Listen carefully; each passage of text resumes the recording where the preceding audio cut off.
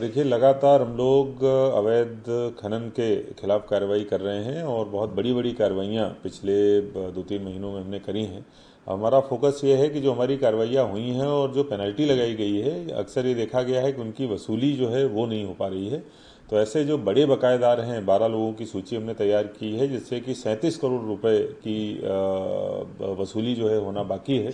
सभी एसडीएम तहसीलदारों को और एडिशनल कलेक्टर को निर्देशित किया गया है कि ये जो बड़े बकायेदार हैं बारह, इनसे अगले एक डेढ़ महीने के अंदर पूरी वसूली कर ली जाए। और अगर ढंग से वसूली नहीं होती है तो अगर हम लोगों को जब्ती या कुर्की या तालाबंदी की कार्रवाई भी करनी पड़ेगी तो हम लोग करेंगे।